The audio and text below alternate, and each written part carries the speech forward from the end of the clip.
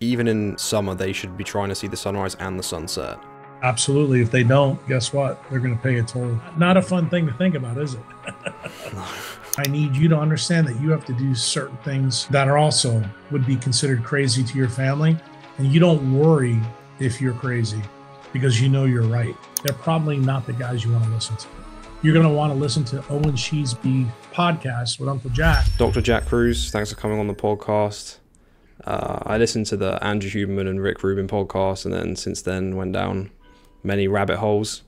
And I'm glad to finally speak with you. So, could you start with like an introduction of who you are and how you got interested in light and how that can affect our biology and health? Yeah, my name's Jack Kruse. I'm a neurosurgeon. Uh, started down the pathway of uh, quantum biology probably 20 years ago uh, when I realized that centralized healthcare and medicine were impotent in fixing most of the chronic illnesses uh, that were seen in clinics. And it led down a big rabbit hole where I basically went from boxcar, boxcar biochemistry that you learn about in uh, basic medicine, allopathic medicine. Uh, and the foundation brought me to the, the science of nature, which is quantum mechanics.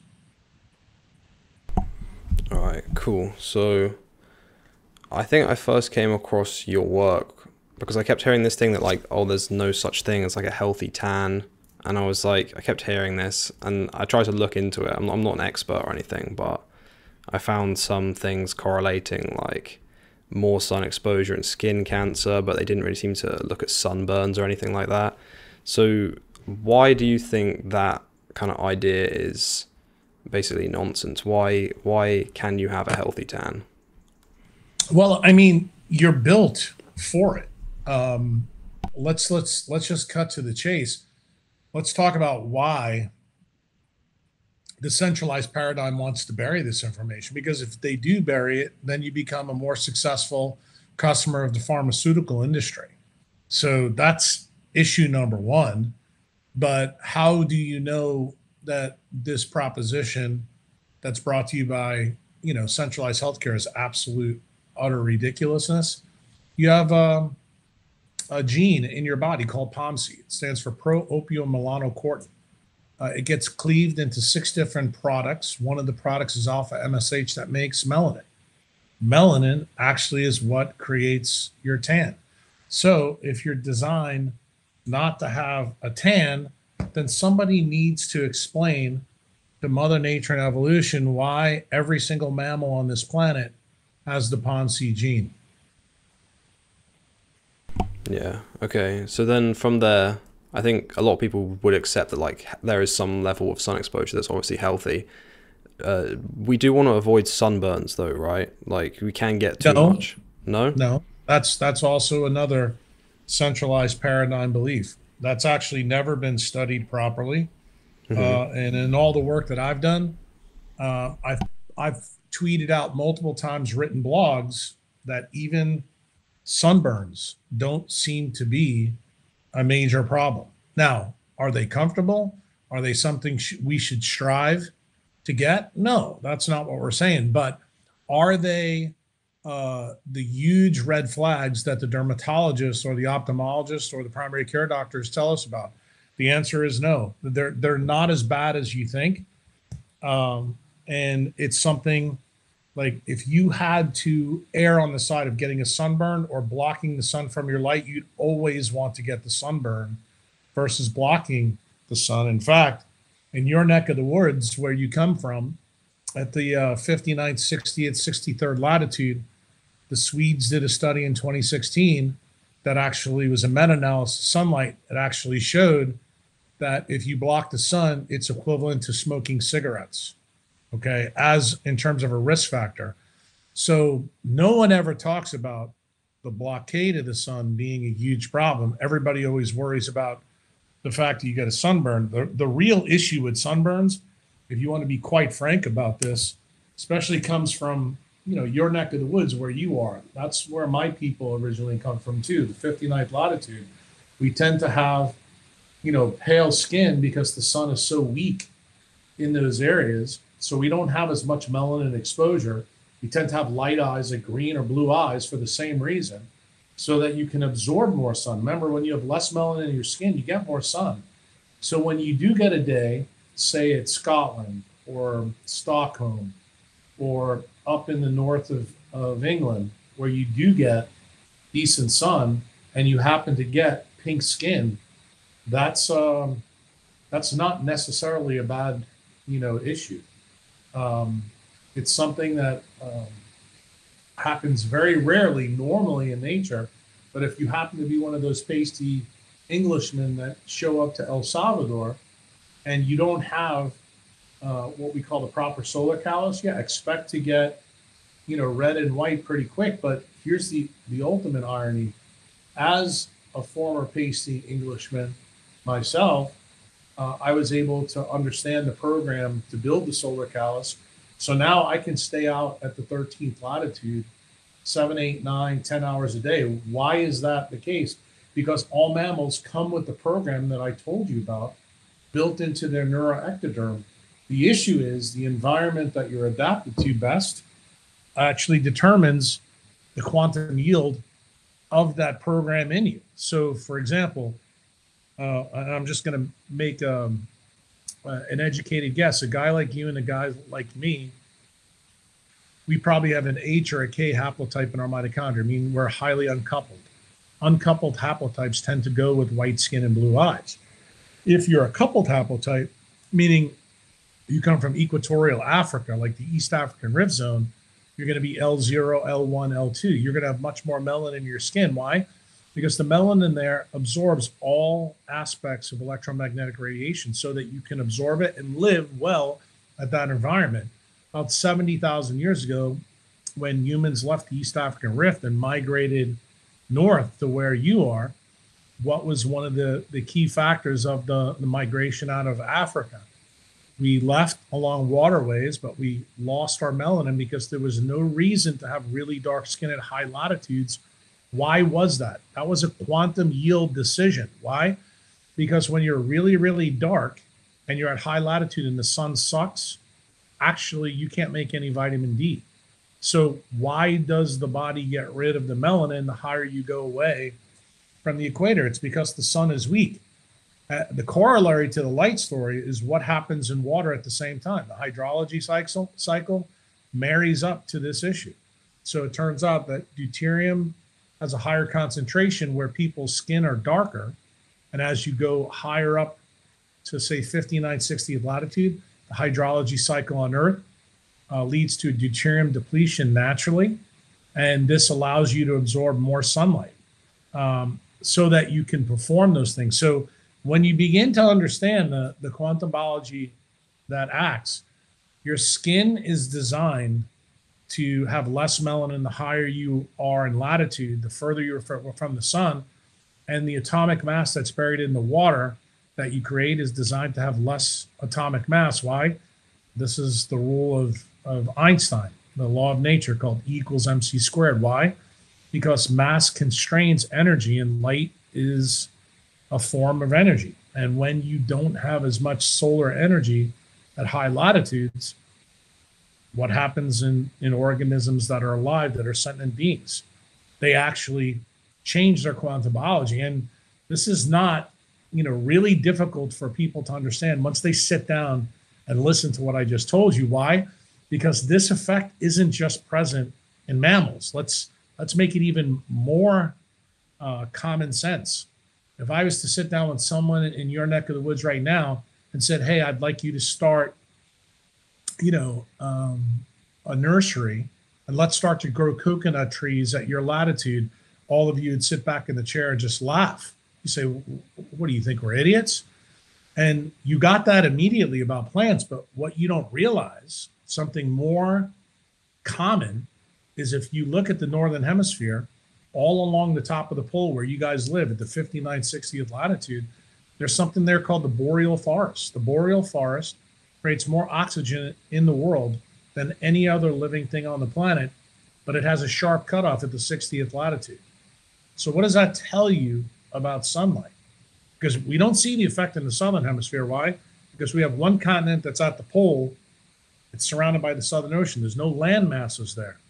What it tells you is because the tilt of the Earth at 23 and a half degrees, that photosynthesis has a quantum yield, meaning that living things don't do well at high latitudes above the 60th latitude.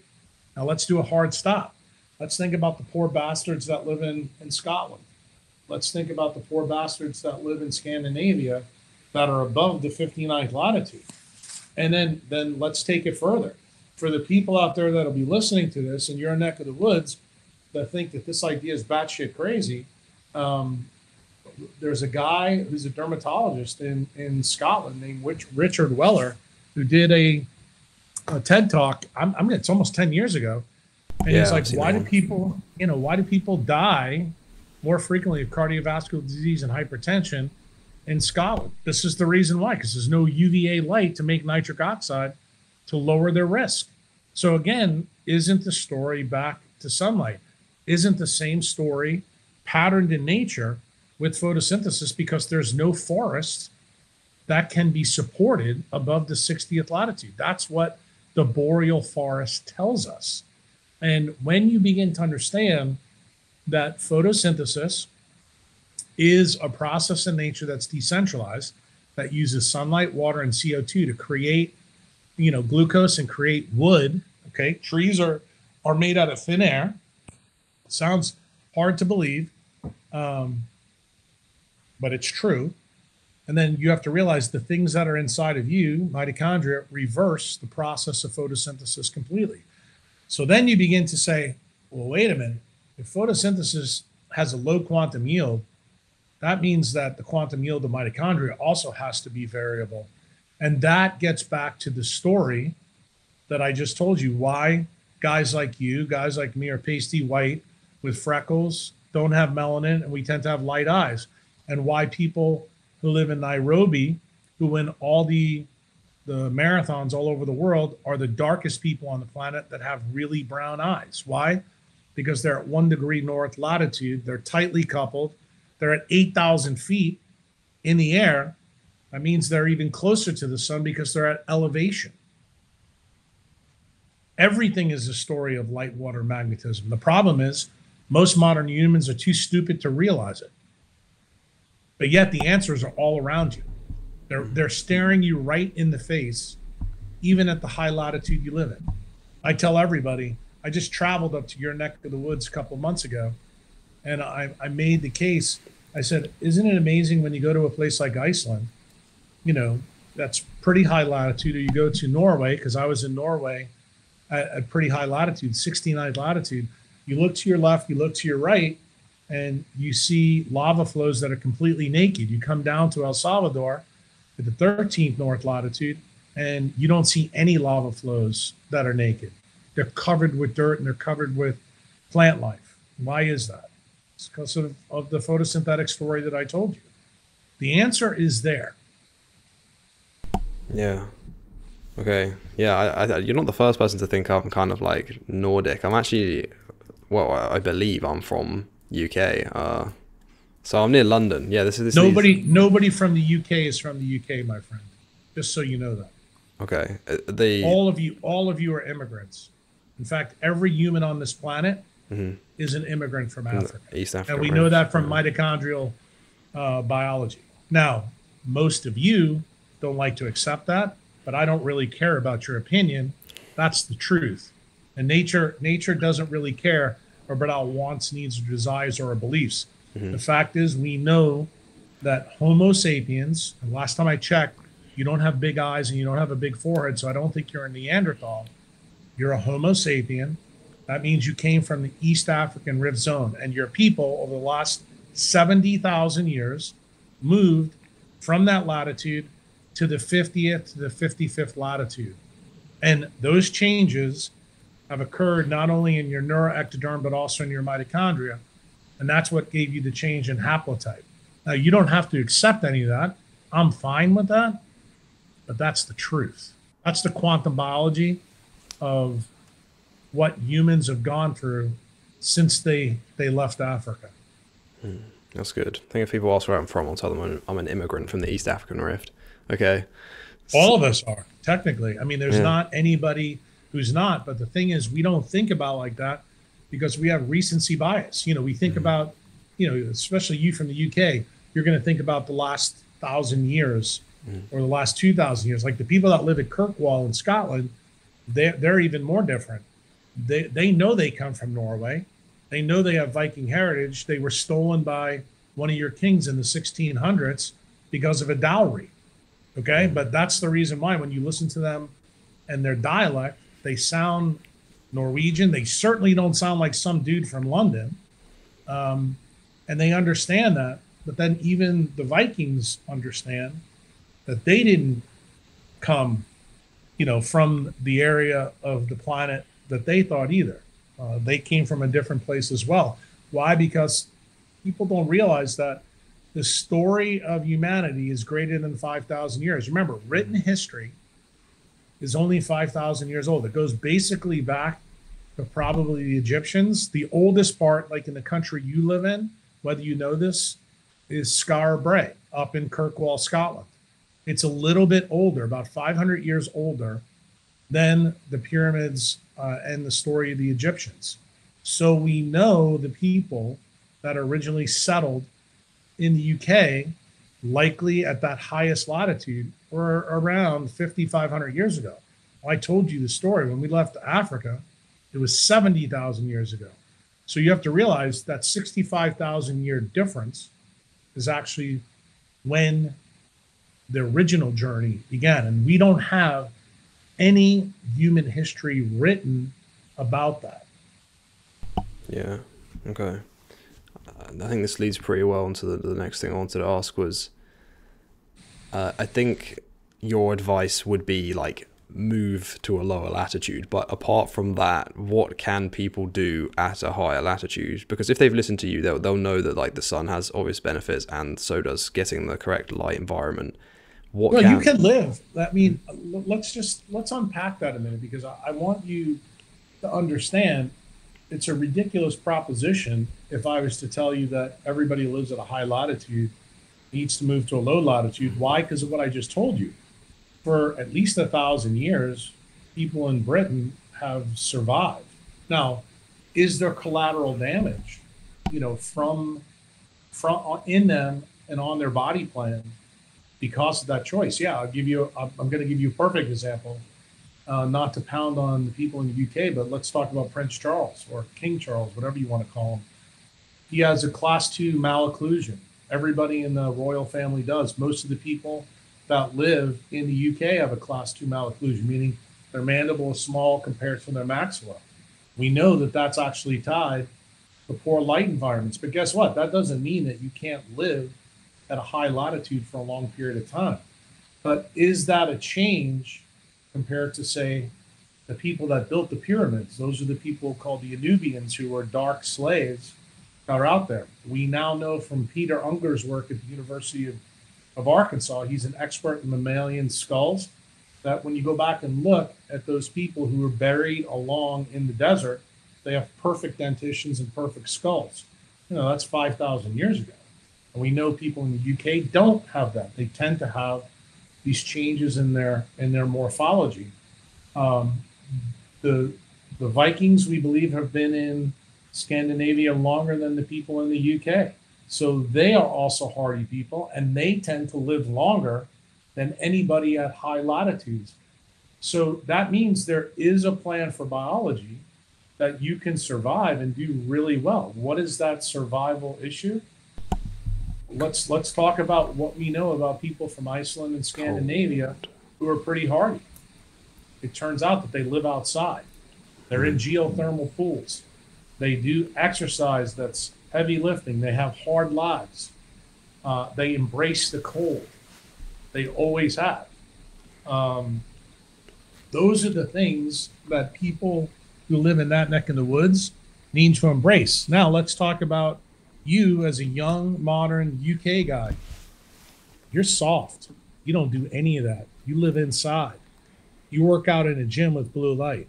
You have blankets on your bed. You don't live out in Skara Brae like the people that are your ancestors up at Scotland used to do. They used to live in holes in the ground with animal skins over the top. That's the difference. So the plan is when you're exposed to the environment, are there quantum mechanical things that our body allows us to do to be able to survive? The answer is yes. The problem is modern life is not built around those things anymore. Mm. Modern life is now built around heating, blankets, clothing, um, cars, travel, work at night, artificial light at night. All of those things carry biologic tolls for us. And that's the reason why the NHS is really popular this time of the year when light goes away. People get more sick in the UK. Their blood pressures go up. There's more blood clots in the brain. Uh, there's more diagnosis of cancer um, at this time of the year than there is in the summertime when the sun is is better.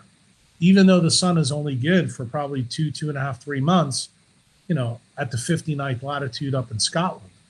Um, it's a little bit better, obviously, in London, which is at the 50th, 51st latitude. But even there, London is a miserable place to be for usually seven, eight year, seven, eight months out of the year. Um, and the thing is, it doesn't mean that humans can't live at that latitude. That's not really what my message is. My message is is that when you live at a high latitude, you have to be more connected to nature than less. I'm going to tell you when you actually live at lower latitudes, you actually have more play where you can actually live more of a modern life because you're at lower latitudes because the sun is so much more powerful for you at that latitude and therein lies the kind of interesting issue because if you're a UK or Scandinavian that's got, say, a mitochondrial disease, then you are best to move to an environment where you have more margin of safety. It's very, very difficult. Say, and I'll just use an example because I'm trying to really keep this uh, to your neck of the woods. People in Finland have the second highest amount of type 1 and type 2 diabetes. They're high latitude. I know they're more west of you, or I should say more east of you um, but they're instructive. If you were a type 1 or a type 2 diabetic in Finland, you would do a really good job of probably spending six months out of the year in the Canary Islands to try to reverse that disease so that you could get things better. But again, would you still have to be more connected to the environment? That's true. And when you went back to Finland, say after reverse those diseases, would you likely have to change your lifestyle that actually gave you the type 1 and type 2 diabetes to begin with? The answer is yes. Why? Because quantum biology tells us that you can never get well in the same environment you got sick in. And that is a very counterintuitive thing for modern humans to hear. But why? Because we are slaves for our wants, needs, and desires. You know, nobody wants to take their Netflix away or take their Starbucks away or go into the pub at night away to hang out with their mates you know, to beat their type 1 or type 2 diabetes. But guess what? That's in fact what you need to do uh, to beat it because whether you got the disease or not by your own doing, most people, especially who are type 1 diabetics, didn't get it from their choices. They their parents gave it to them through transgenerational epigenetics, meaning that there's been five or six decades of people who lived at that high latitude that made poor decisions around light and that's sculpted and changed their mitochondrial DNA. That actually changed the free radical signaling in the mitochondria to change their DNA and RNA so that they wound up destroying the circadian biology of their beta cells in their pancreas. And are there studies out there that I've posted in multiple blogs on multiple Twitter feeds that show you that type 1 diabetes specifically, as well as type 2 diabetes, has humongous uh, latitude linkage, meaning it's it's correlation, not causation. But again, that shouldn't matter. Uh, it matters to a lot of idiots that are centralized because they think cause and effect is real. Cause and effect isn't real. We found that out in 1905 when Einstein proved beyond a shadow of a doubt that time is relative. The, the cause and effect can only be operational in reality when time is absolute. Who believed that time was absolute? Newton. That's your countryman. Okay. We believed that for 500 years. But the abnormality of the perihelion of Mercury was one of the things that told us for 500 years that Newton had a lot right, but he had something wrong at the core of his ideas. And Einstein, a simple guy who never did an experiment in his life, figured it out by doing a thought experiment in his head. And when he came up with his four miracle papers, um, of course, the world, the centralized world of physics, didn't believe a goddamn thing he said, which is why he didn't get his Nobel Prize for so long. But then during World War One, when your king decided to get into a fight with his cousin Wilhelm in Germany, uh, Alfred Eddington, who was a Quaker, a pacifist, actually went to the jungle in Africa and he proved Albert Einstein correct about time, that time isn't absolute, time is relative. And a consequence of time being relative is that there is no cause and effect. It's impossible. What does that mean? It means that everything is based on probability. So correlation is actually what we should be talking about, not causation. So many times when you hear people, uh, I, I would say, give criticism on Twitter or social media and say, yeah, but this is correlation, not causation, immediately they announce to you they're morons. And you should absolutely uh, decline to believe anything they say because they don't know the fundamentals of what quantum mechanics is. Quantum mechanics is the science of nature. Quantum mechanics is 100% based on probability, not cause and effect. The interesting thing is the NHS, the FDA, the CDC, everybody who studies medicine believes that the gold standard studying things is a randomized controlled clinical trial, which tells you that there is cause and effect. That tells you fundamentally that the centralized paradigm is flawed. But nobody realizes they they don't take it back to where I just took it back to you, to the laws of nature, to Newton, to Einstein. And to circle this back up and put a bow on this, um, it turns out that type 1 and type 2 diabetes at high latitude is highly correlated with the high latitude. So, what does that tell you? It tells you that circadian biology is at the core issue of type 1 and type 2 diabetes. That is certainly not the message that you get from the NHS, but interestingly, it is the message that Dr. Weller was telling you in between the words that he gave you about the TED Talk. And it tells you that people that tend to have higher blood pressures tend to have diabetes. Why? Because there's no UVA light. So if you know anything about the diagnosis of type 1 and type 2 diabetes, there's a syndrome called metabolic syndrome that has a lot of different things in it, but one of the core metrics that's in it is high blood pressure. Now you know the reason why. Now you know why high blood pressure is correlated with type 1 and type 2 diabetes because it's correlated with high latitude, that is poor UVA and UVB light. It's also the reason why metabolic syndrome and obesity are correlated with low vitamin D levels for the same reason. Why? Because vitamin D levels are highly correlated with UVB sunlight, which you know, especially at your latitude right now on what's today, October 14th, is horrendous. Yeah. Okay. So I've got a question about correlation. So I, I see what you're saying. That that makes sense, but not all correlations are like I guess correct.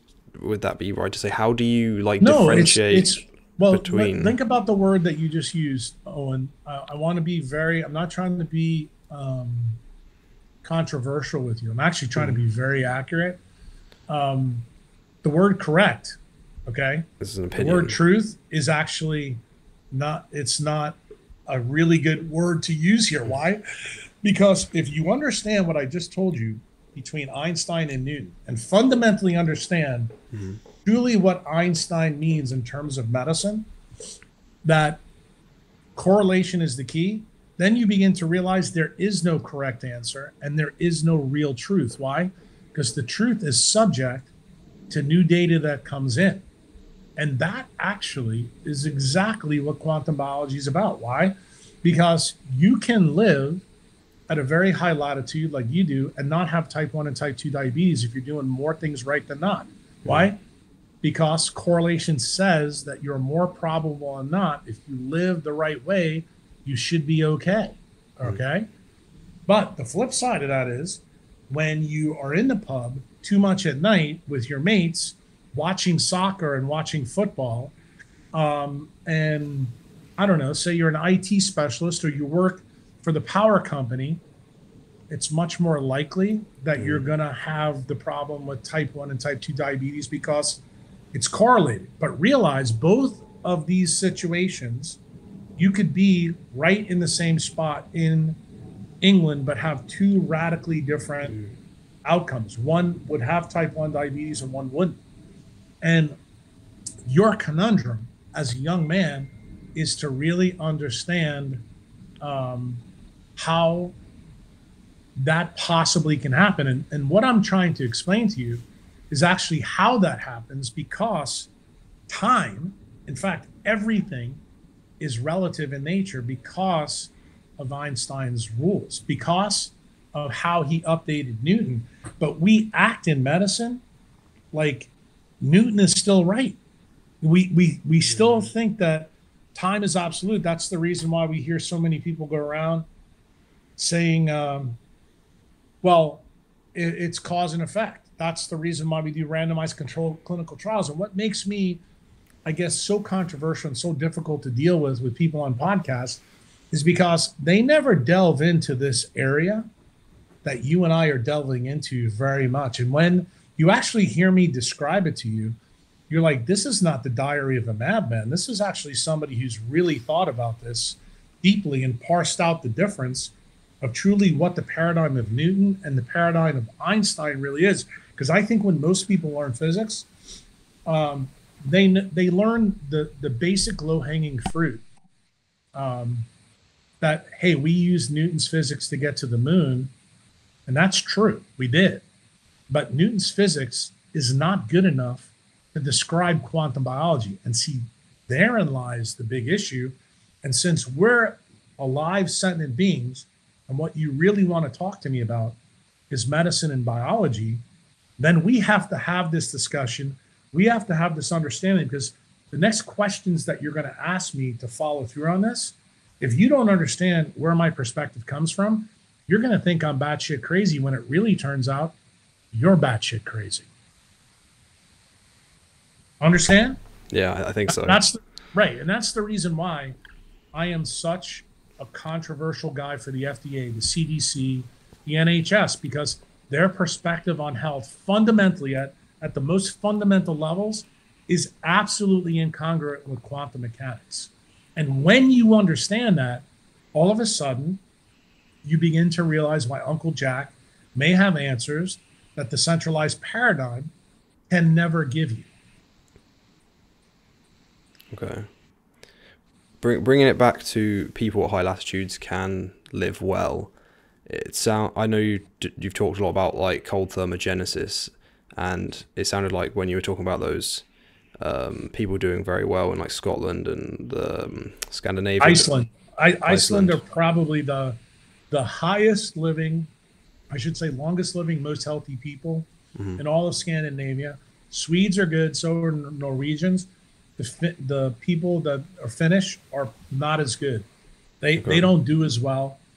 And then the Poles and Russians have their own problems. Why? Because they use too much alcohol at high latitudes. I think part of the reason why people in the UK and Ireland struggle is for the same reason. They use mm-hmm. alcohol, but different types. You guys tend to use barley and yeast, where the the Poles and the Russians tend to drink, you know, grain alcohol from vodka. And the real issue with those things is that they dehydrate mitochondria. So if you make less water in your mitochondria, you actually are stressing the system. That means you need more sunlight. So that's why uh, people that tend to have alcoholism at high latitudes tend to have really horrendous outcomes. Okay.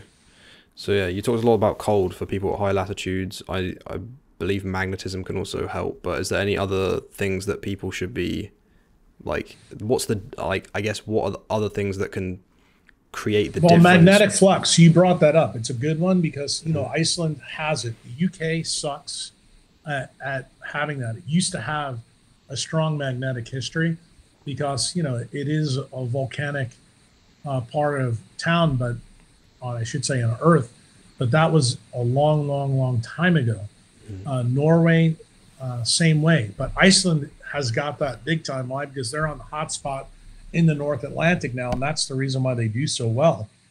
But the real issue is the people all around you, the Germanic people, the UK people, and the Norwegians. If you embrace the elements, you will do well. Um, the key is you have to realize that means the things that we embrace in modern life are really detrimental at a high latitude. Plus, you have a smaller margin of safety. So you can't get away with this for two or three or four decades like people in the 13th latitude can. And that's the reason why we see transgenerational diseases like type 1 diabetes all of a sudden show up in Finland. Like in, in the last five or six decades, this has kind of shocked people. Is the same thing, Owen, going on at low latitudes? The answer is yes. And it's going on in India right now.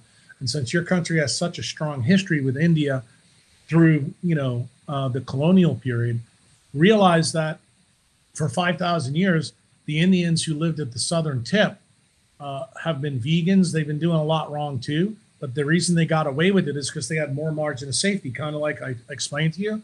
Why now do we have more type 2 diabetics in southern India than we have anywhere else in the world? That includes the United States. Because now all the call centers for Google and Facebook are located there. So what's happening? All of those people are now suffering for the same reason that I just mentioned to you that the Finnish people are. So why am I having this discussion with you? Because I really want to parse this out so you understand this isn't really a high versus low latitude story. It seems that way when you're a surface dweller, when you really don't understand the physics that I tried to explain to you between Newton and Einstein. But when you really parse it out and you begin to see it, you're like, wow, Jack's saying that these things show up not only at high latitude, but they're showing up at low latitude the more that we're we're discharging ourselves from nature, the more that we're not embracing, you know, light and dark cycles, the more we're not embracing temperature. So let's be clear about this, Owen, because this is at the core of really what you want to be asking. Why is it that circadian biology only pays attention to two real variables? It's light and dark and temperature. Now you know the reason why. Now you're beginning to get to the core of how the clock system in our eye and the clock system in our biology really works. It's an optical lattice clock that is linked to temperature because temperature tells us not only about latitude, but it also tells us about altitude. How do you know that? You've been in a plane before. You know when you put that stupid little thing on in the plane, it tells you when you're at 35,000 feet, it's minus 40 degrees outside. And you're like, wow, the higher you go up in the air, the colder it gets. Well, think about that like um, for example when you're in the alps in europe you know can you make vitamin d at a high latitude in europe. Yeah you, the problem is you can only do it in a couple places. Why? Because the mountains are only t- uh, high in those areas. But what you should immediately do is go back to the original part of this podcast when i tried to get you to think about africans and melanin and the boreal forest. Why am I bringing you back and forth? Why am I pulling you here and there? Is because I want you to understand how the clock mechanism really works in you. It's a optical lattice clock that pays attention to light, dark, and temperature. Mm. That's how it responds. So when you ask me the fundamental question, like, Jack, I'm a high latitude liver. How do I live at high latitude and stay healthy? Make sure that you pay attention to your light and dark cycles and the temperature variation. So if, for argument's sake, it's Owen Sheasby, October 14th, the sun rose, I'm just going to guess, okay, because I don't know what really latitude you're. The sun rose, let's say at 4:45 a.m. Was Owen up at 4:45 a.m.? Did he see it? The answer is probably no. And when the sun set, okay, October 14th, I'm going to guess maybe 5 5:30 uh, did all the lights in Owen's life go out at 5 5.30 oh he went to the pub that night mm. i got you so and then then the, the last thing is he's got this beautiful you know scottish type of print on right now uh, the last time i checked i don't think any mammals ever come out of its mother wearing a jacket like that so are you really a thermoregulator to your species? The answer is no. See, what I'm trying to explain to you is you are breaking the mechanism in you that pays attention to all these things. So, why don't you have as much melanin in you? So, if I brought you to El Salvador, because you didn't see the sunrise, you didn't see the sunset, it wasn't dark at night, and you're wearing a, a ridiculous jacket and not having the windows open to allow the temperature that's present at your current latitude to offset your biology. And that would set the thermostat for how much melanin's in your skin. That's how it works, my friend. That's quantum biology 101. That's when you come to my classroom and I explain to you exactly how we work. And I don't really care if anybody doesn't like it. You know why? Because it's the truth based on the best information that we know today. Now, that doesn't mean it's not going to change because it can change. In, in our biologic history, as I mentioned in the Huberman podcast, you heard it. I told you the first wideband semiconductor we ever had was was uh, chlorophyll. The second one was hemoglobin, and the third one was melanin. So what am I telling you? These things are innovated in evolutionary history to pay attention to the light and dark cycles and temperature. And that's the reason currently why we have so many different hemoglobins in the mammalian tree. It's also the reason why we have so many different chlorophylls in plants, because these things are how we adapt to the changing EMF environment, the sun. The problem is we happen to be the silly talking monkeys that have changed the EMF environment because now you have headphones on your head and you wear those iPods in your ear and you go out and listen to Coldplay at night and you you know you do all the things that you don't even think that are an EMF problem because they're not consistent with the EMF from the sun. Hmm. And therein lies the reason why people at the UK are different than the people in India, the different people in the United States that are different than the people in Africa. This is the reason why we have variations all over the place. It's fully explainable quantum mechanically, but do you know why people don't understand it? Because they haven't done the heavy work thinking. Mm-hmm. Like what we're doing in this podcast right now. I can see as I talk to you, I can see your face and your eyes. I hope you look back at yourself when we do this and you go, wow, this is beginning to make a lot more sense to me talking to this guy. And that's the whole point. That is the whole point of doing podcasts. I Yeah. want people to understand that what I'm telling people isn't crazy talk. Dude, this is the best medical advice you're ever going to get from anybody. But I need you to understand this perspective so that you don't think that I'm crazy. So, like when I said to Owen earlier, him and his mates are not going to start a coconut farm in the UK because that is utterly ridiculous. Now you begin to realize by asking me the question, well, sunburns are clearly bad, right? Well, are they? From my perspective, you begin to realize maybe they're not. Maybe it's okay to go to Hyde Park, take all my clothes off and put a kaniki on and get a sunburn. It, it makes maybe a lot more sense than wearing a plaid jacket inside with headphones on my head and wondering, you know, why I'm trying to stay healthy the rest of my life. That's the kind of insight that I want to bring to the people that live at the high latitude. I don't want all of you to think that you need to move to El Salvador, you need to move to the Canary Islands. That's not the goal. The goal is I want you to understand why you're getting sick now, why the NHS is is you know offering you COVID shots when you really don't need them. Um, there is a reason these things are happening, and I think the smarter you are, uh, I've said this in multiple podcasts. but I'm going to say it here again because I think it's important. In Darwin's time, 1859, another UK guy, he always told you it was about the survival of the fittest. What do I tell people now? It's no longer about the survival of the fittest. Now about the survival of the wisest. Okay. And what is this podcast that I'm laying out to you? This is the wisdom that Darwin never had. Why? Quantum mechanics wasn't present in his life. Remember, his whole idea was based around the Newtonian idea of absolute time and time over long periods of time. But what are the things in biology that absolutely break Darwin's theory or of species? And you know this because you said you listened to the Huberman podcast. The two things that really are a problem for Newton are the age of mammals, in other words, how mammals came to be. But the other big one is the Cambrian explosion. Hmm. Like if it's really about, you know, small mutation changes, then why all of a sudden do we have 32 phyla in the fossil record literally overnight 650 million years ago? That totally blows his stuff out of the water. And then if you don't want to use the big history, let's go to the small history that I always use. Uh, 1900, United States, colon cancer was the 37th leading cause of cancer. Today it's number two.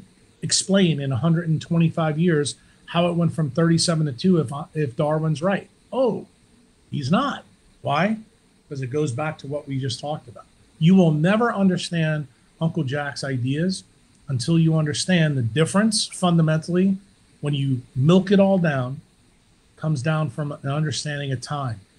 Absolute time and relative time is the reason why this has happened.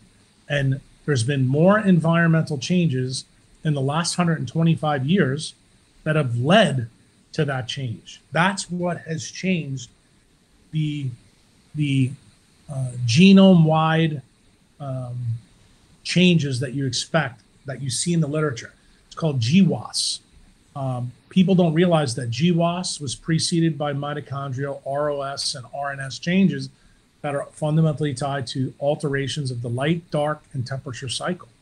And when you put all this together, and this is like a soup and you sit in this and you listen to this podcast over and over and over again because you're right i'm not slowing down i'm giving it to you through a fire hose i want you to keep understanding that once you get to the level i want you at then and only then will you begin to realize that the guys in nhs the guys in the fda the guys who you're going to see you know, I don't know, to get cerumen taken out of your ears, they're good for certain things. Like if you break your arm, you get a subdural hematoma, you break your neck. But if you have type 1 or type 2 diabetes or you have metabolic syndrome, they're probably not the guys you want to listen to. You're going to want to listen to Owen Sheasby podcast with Uncle Jack and go, shit, now I understand why going out with my mates and drinking beer at night is a real problem for my diabetes. Mm. Yeah, you said a lot there. I'm definitely going to have to go back and and digest all of this. But it's interesting you mentioned temperature a lot because I, especially actually, I didn't mention it, Owens. Just so you know, when you go back and listen to this, because I want you to fact check yourself. You're the guy that brought temperature up first because you mentioned cold thermogenesis. Mm-hmm. Why did I bring it up? Because I'm trying to explain to you how temperature fits into the framework of circadian biology. Because you're a high latitude guy, realize that cold is a huge benefit for you. Mm. Yeah. Humongous. The problem is most people that live at a high latitude truly don't embrace the cold as mm. much as they should. And that's the point I'm trying to get to. Yeah. Um, but the thing is, people who live at the 13th latitude, it, it's kind of funny. Like if you're in El Salvador now, you would see people when it's 70 or uh, I don't know what the temperature is in Celsius, but 70 Fahrenheit, which I guess would be like 17 16 or 17 C, yeah. they're walking around with jackets that you guys would wear, you know, when it's December. Mm-hmm. And that relativity tells you, but remember, those people that are down there have way more melanin in their skin, so they can't handle wide swings in temperature. That's the reason why they, they struggle with CT. But people that have less melanin in their skin, that have light eyes, they tend to do phenomenal with CT. Why? Because their haplotypes also are uncoupled they're designed to work better in cold environments. Yeah, I was just going to say that I have been paying attention to light like pretty well, I would say, over the last few years, but cold has been a bit more recent. I didn't realize how important it really can be, and it's, I didn't I didn't know that cold was really that related to circadian biology. Oh, it's huge. I kind of thought it was just stuff. like a separate thing. Well, let's since you said that, let's let's let's get something in your head not only for you but also for your audience so they get it i want you to think about light and dark like the minute and hour hand i'm going to tell you the sunlight is like the hour hand on a clock the darkness at night is like the minute hand on a clock. Then temperature is like the second hand on the clock. They're all important to tell the time, but one is more important than the other. So the hour of the day is critical because that gives you a pretty good idea of, you know, when it's time to eat dinner, okay? Or when it's time to eat breakfast. The minute hand tells you within that hour what's the issue. And that's really how you should look at darkness. And the second issue, the temperature variation, it's a huge factor. And if you you want to hammer this point home, realize that this is the reason why melatonin works better when you're colder. Okay, this is the reason why when you sleep at night, okay, yeah. that your hypothalamus has to drop four degrees, usually C, in and around your hypothalamus, so that you sleep better. And see, when I said that to you, I could see in, even in your face, you're like, oh shit, I didn't realize that. Mm. Now you begin to understand why temperature is that important because it augments the circadian mechanism that ties to autophagy and apoptosis that actually keeps you healthy at night. So if you can't sleep, like say if you're the guy that goes out to the pub all the time and you have type 2 diabetes and you're drinking beer at night and around light, you never can drop your melatonin or your temperature low enough to make the melatonin come out so this is the reason why you have sleep apnea. And this is the reason why you keep getting fatter and fatter and fatter because you are breaking all the rules. Like your second hand never works. Your minute hand is always slow and your hour hand is way off. Then you begin to go, okay, now I'm starting to see the world as Jack does. It's a giant metronome. Every single mitochondrial disease is a metronome that's tied to light, dark, and temperature. And when you're able to put all those biochemicals together that you do know and you put them in this framework, you begin to go, okay, this is beginning to make a lot more sense to me. You're going to be a way smarter patient than the doctors that you go to see. And ultimately, isn't that my goal when I do podcasts with guys like you? The answer is yes. Because I think a lot of times when I do podcasts, people misunderstand a lot of the things I say. Like you almost went down that path before I pulled you by the neck. No, you don't have to go live at a low latitude to be healthy. You can live at a high latitude and be healthy. I just did a podcast with two Viking guys that got released, I don't know, about two weeks ago. I told them the same thing I'm telling you that no, you can do really well. But the funny thing is, when I talk to them and I'm talking to you, I don't think they realize the nuance between timing and that's the reason I decided to really get into the discussion with you about the difference between Newtonian physics and Einsteinian physics. The fact that when time is absolute, cause and effect is real. But when time has been proven to be relative, there is no cause and effect. Everything's based on probability. That means correlation matters more than causation. There is no cause to disease. It's all a correlative event. Everything is based on probability. And that that is so offensive, Owen, to the people uh, that you know regulate centralized paradigms mm-hmm. that you need to really understand that. And fundamentally, that's I think what makes Uncle Jack so a tough swallow for a lot of people. But I think when you hear it laid out like this, you begin to realize this guy isn't crazy at all. He's thought actually thought about it very, very deeply, and he can explain it, you know, in a podcast, so you get it. And you know, I think the reason I've spent a lot of time with the two Viking guys and you on this is because you are the high latitude guys. And you have to remember something. We have something in common. I'm a high latitude guy, dude. I come from County Cork. I'm 59th latitude, bro. So if you don't think that this was important in the formation of me figuring this out 20 years ago, you're out of your mind. I, I absolutely got it. And that's the reason why I started first with the leptin prescription. Then I went to the cold thermogenesis protocol because you're probably now starting to realize now I get why Jack did what he did. He fixed his hour and his minute hand. Then he went to the second hand, the cold part. Then he put it all together. And you can begin to see how this was kind of like a, a Ford factory to make an F 150. I was coming up with the ideas and then correlated them back to to the physics of organisms, but ultimately the physics of organisms funneled all the way back to our friend Einstein and Newton. And that's when biology began to make a lot of sense to me. Hmm.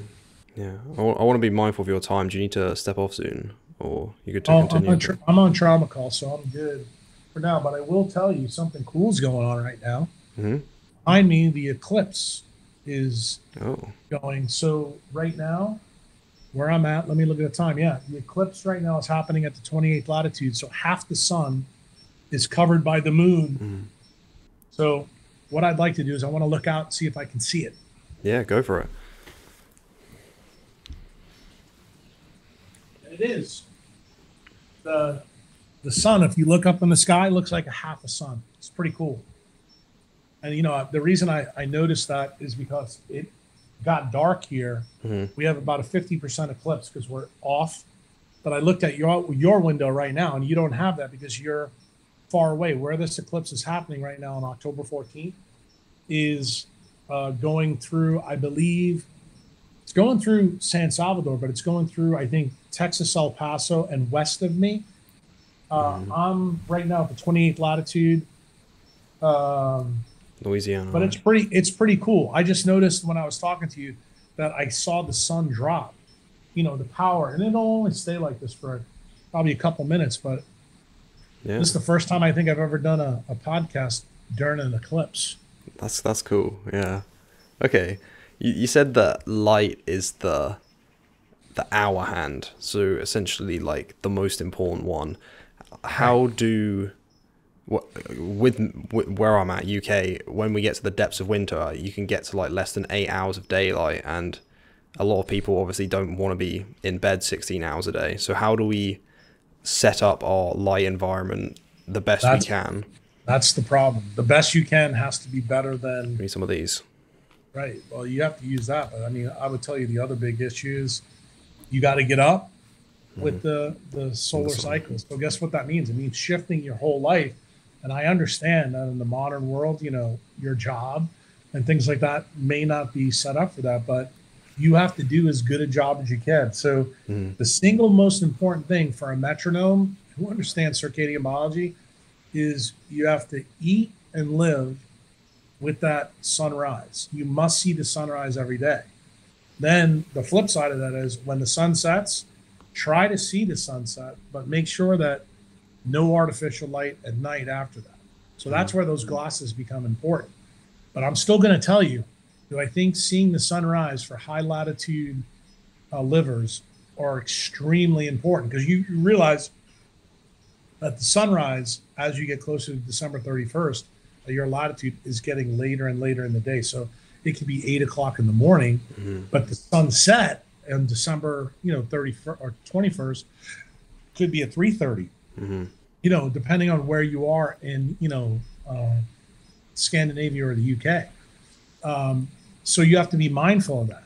And then the flip side of that is when I was up at the high latitudes, you know, several months ago, uh, I did a podcast with a guy from Uruguay at 11:30 at night when the sun was still out. I was at the 69th latitude. It was kind of crazy. But do you have to be mindful of that when you're at high latitude that you need more sun? And Owen, I'm going to tell you something I don't think a lot of people at high latitudes really understand. Um, and when I say it, it's going to take you a while to realize it and research it. Do you realize that if you live at the equator or you live at the 50th or 60th latitude, that the amount of sunlight you get is exactly the same? The difference is the time is shifted. So let me explain to you what I mean. There's times in Alaska that the sun stays out all year round. Mm-hmm. That makes up for the days that it's hardly out at all.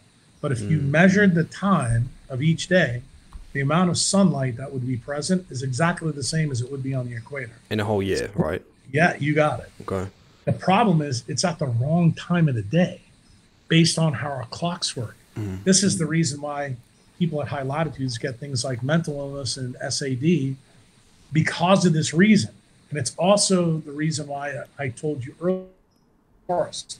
So, what you need to realize is that the real problem of high latitude living is light stability, meaning that you need to have a firm part of your day where you're really in the light. Well, that's really difficult when you live in the UK and your job requires you to be at work from say eight to four.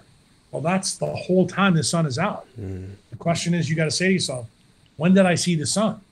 The answer is probably not. So, the number one thing I think people that live at a high latitude have to do is figure out how to get outside, whether it's cloudy or not, because you're still getting the benefit of the sun even then when it's cloudy. You're still getting the red light. You're still being able to tell the color temperature. The clock mechanism still works, doesn't change at all. Um, the temperature also plays a, a, a role there as well. So you being inside is a huge problem too in the wintertime. So you need to understand that issue. And I think when you parse it out, then you begin to understand why Uncle Jack's not a big fan of living at a high latitude because your job is really, really difficult Mm. to get right at a high latitude. This is the reason why living at a lower latitude gives you more margin of safety. Why? Because when you're at the zero degree latitude, uh, remember it's 12 hours of sunlight every single day. It doesn't vary at all. Like when um, you talk about the 13th latitude of the 20 or the 20th latitude, because 20th latitude is Cancun, 13 is El Salvador. I'll give you an example because I was just in El Salvador uh, last week. Um, there's only about a 30 to 35 minute variation at the 13th latitude, even at this time of year. So you'll find that the sun sets almost every day at 6:30. It rises every day right around 6:30. So you're kind of like, okay, well, that's how my clock is set up. That's how my day is set up. That's not true for a guy like you. Mhm. The, the sun uh, rise and sunset varies tremendously from September through December, and also from December through April. Uh, and the problem is you have to retool your life to marry to that, and that's not an easy task. Okay. Yeah. Since learning about your work, I've got there is a window open here, so it's actually colder than it looks, and I have the sunlight coming through in the morning, so it's quite cool actually. Um, okay. So there's less margin of safety. Uh, okay, so that's that's for the winter, and then in the summer it's so so see as much sun as possible as you can in winter. Yeah, because remember in the summertime, there's like certain times in London where the sun doesn't set till 10, 11 o'clock. mhm. So if you're out, great. But remember, the sunrise sometimes, like the last time I can remember when I was in Europe, I think I was at the 60th latitude. And I'm talking about when I was not, didn't, not this past trip. Um, I think I was in Poland. I think the sun rose on July 4th at 3:45 a.m. I was the only guy that was awake. All my other European friends were still asleep, who were from there. And yet, when they came out an hour later, like, Jack, you're here. And here's the funny part it was 37 Fahrenheit, which for you guys is probably like two, Two or three degrees, degrees yeah. C. I was in a t shirt and shorts in 40 mile an hour winds on the 4th of July at the 60th latitude. And they all looked at me, and I looked at them. And I said, Why am I out here? I said, You wanted me to come visit you? This is what I have to do when I come visit.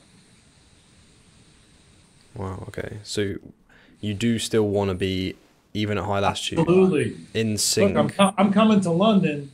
I'm coming to London literally five days. I'm not excited about it.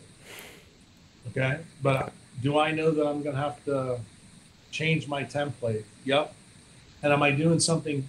I'm, I'm going to be living my craziest month of my life. And I'm going to tell you it's already started because I'm on trauma calm now. But the things that I'm going to do in the next month, I have never done in my life. And they are going to be the biggest circadian disruptors that you can imagine. And have I had to think about how I'm going to pull this off so that I don't harm myself? Thinking about all the things that I told you.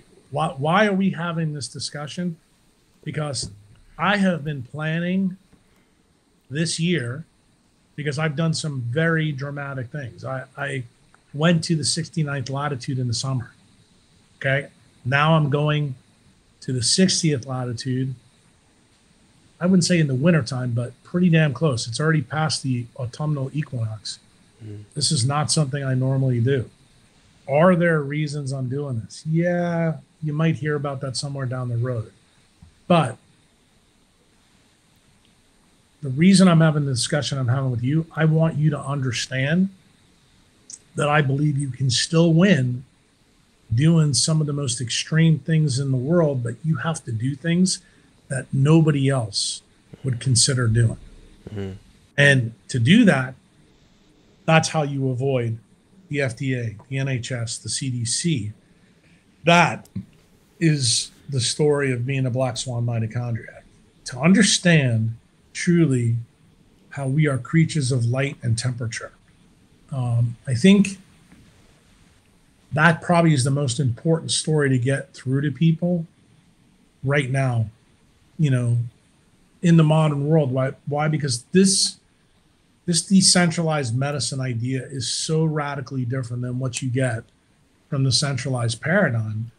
And um, I want people, especially young people like you, to understand that I still think you can win. I think you can be optimal, even when the environment is not set up perfectly for you. But it means that I need you to understand that you have to do certain things that are also would be considered crazy to your family.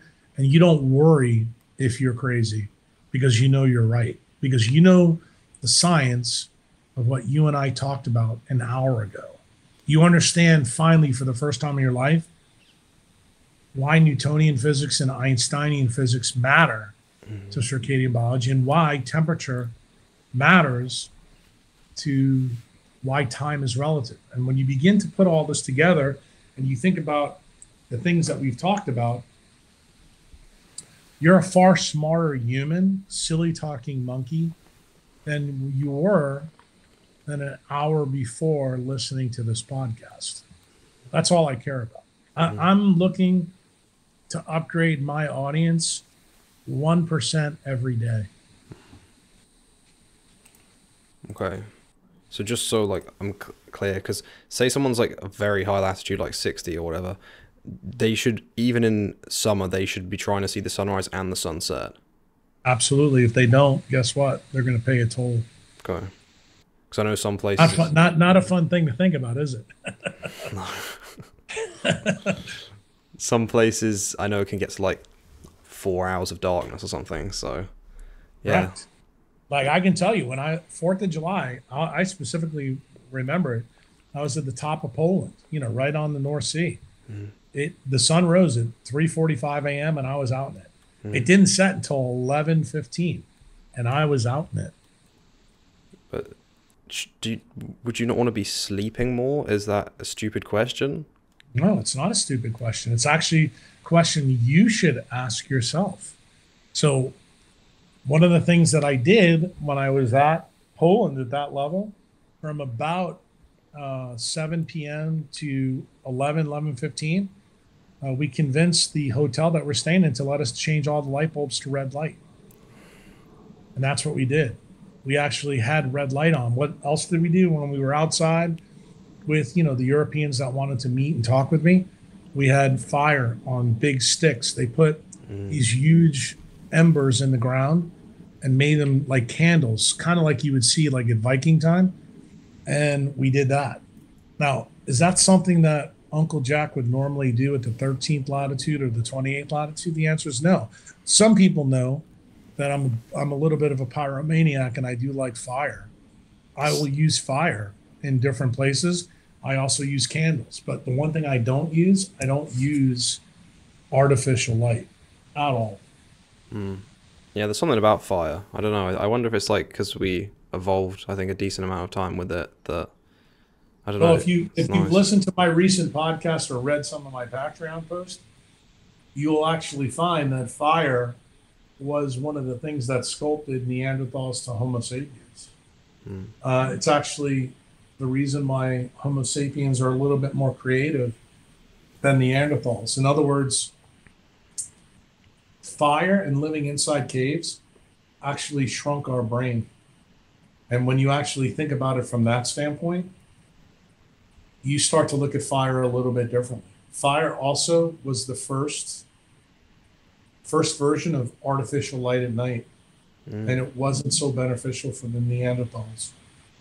Ironically, it created some very good effects in silly talking monkeys who are Homo sapiens. Why? Because we have 125 grams less brain tissue than them, and our eyes are smaller. But remember, we came from lower latitudes than the Neanderthals were. They they really stopped right at the latitudes that you're at now. You're you don't find very many Neanderthal skeletons above the 50th, 55th latitude, and there's a reason for that because their Ferrari engines in their head precluded them from living there, and it, that tells you a, a big story about Homo sapiens. It tells you the reason why, if you break the rules and you live at a high latitude, why people in the UK will get more neurodegeneration, more cerebral atrophy. Your brain shrinks even more. And this should be something that the NHS expects, but they don't. They don't see the story that I'm painting for you right there. Um, and it's a very, very interesting story. Um, but it's playing out everywhere at high latitudes. It's really playing out in the United States. Why? Because the number one cause of death in the United States, everybody still wants to call it heart disease. No one wants to tell you the truth, but it's really Alzheimer's and Parkinson's. It's neurodegeneration. And the reason for that has a lot to do with many of the things that we've talked about in this podcast. Why? Um, the United States has made a decision uh, in the way in which it runs its economy um, to use a lot more non native EMF for its population. And our population centers are very different than what you see in the UK and Europe. Remember, Europe is a much smaller continent. People are in cities, but they're closer. And the United States is a huge country, and our population densities tend to be in cities that are sitting, you know, right around massive amounts of EMF made by you know Facebook, Google, uh, AT and T, and this creates a certain problem. And remember, most people in the United States, where are they from, my friend? We're uh, Brits. Europe. We're Brits that got fed up with the fucking king, right? So that means we're all have the same haplotypes as you guys. Mm-hmm. So we have a very interesting set of circumstances here in the United States that you guys don't face. You face it for different reasons than we do, but our steep decline has a lot to do with where we come from and the things that the decisions that we made around light. That's the reason why the United States health metrics look so different than anywhere else. But people don't realize that 250 year change when we told King George to go fuck himself um, and where we became the superpower and then turned our agrarian economy into a technology economy uh, has had huge implications for us. Mm-hmm. You talked a bit about like the NHS and like the FDA not understanding the story that you've laid out there. Do you think you've managed to get through to Huberman enough that he'll like that he'll take all that stuff on board and like be able oh, to I make a I've change? Got, I think I've gotten through to him, but I think the mm. real problem for Huberman is remember who funds his lab? Stanford, Stanford. Or who funds Stanford? Big Pharma.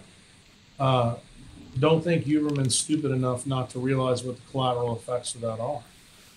Um, but at the same time, um, what do I teach people? What what is decentralized medicine fundamentally about? When you know you're right, even if you have to stand alone, you stand alone. Why do I do podcasts the way I do? I, I don't care if the paradigm that I practice in is wrong.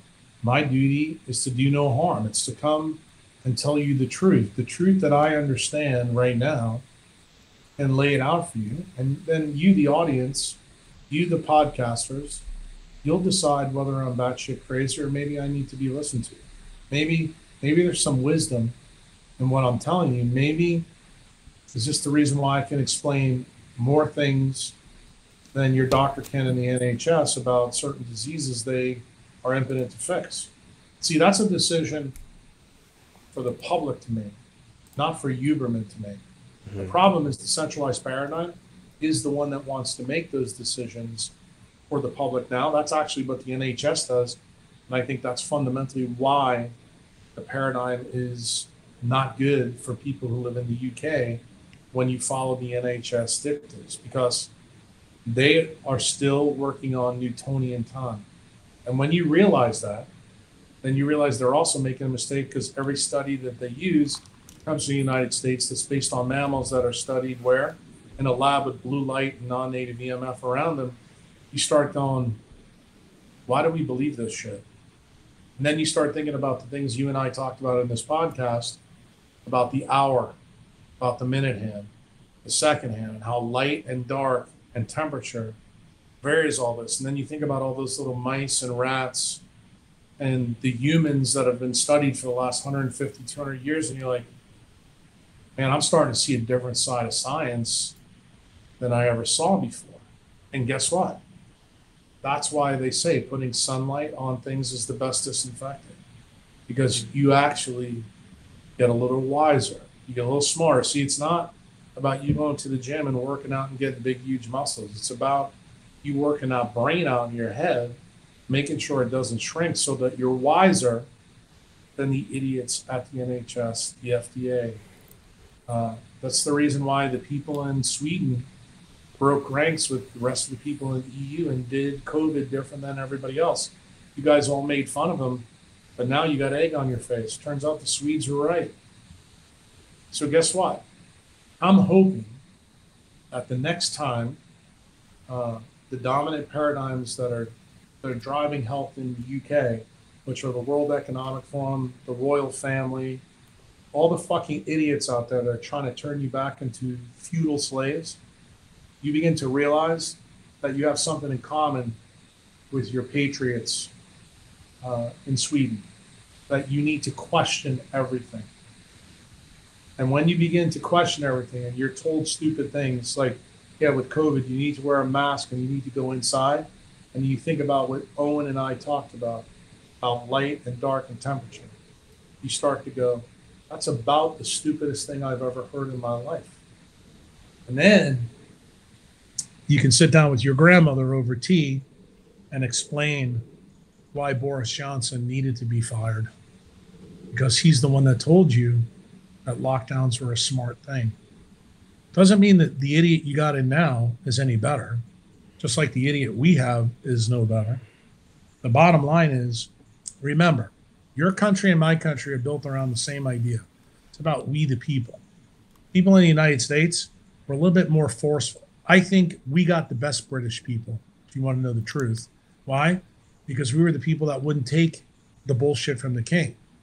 I think the same thing is happening right now in the UK. I think there's people that are fed up with the NHS. I think there's people fed up with King Charles, to be quite frank with you. Um, but I think that those faction of people, not only they're in the United States, they're in Sweden, they're in Africa, they're in El Salvador. They're really in El Salvador right now because they have a king or a leader or a president who's basically telling people freedom is what it's all about. You should be able to make your own decisions about your own health care.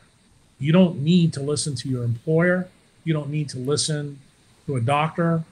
You, the only thing you need to do is sit down with a doctor to explain to you how we really work, and then you decide if you think it's a good idea to wear jackets and use air conditioning and use blankets and turn the sun off like Bill Gates, or you know put artificial light on at night when you're drinking with your mates at the bar.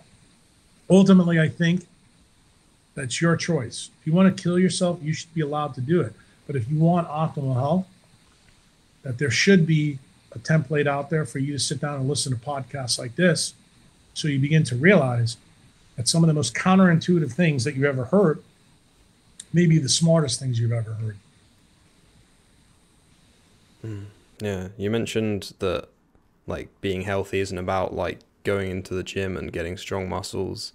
Uh, but you also mentioned earlier that the a lot of the Scandinavians do kind of lift heavy weights and stuff.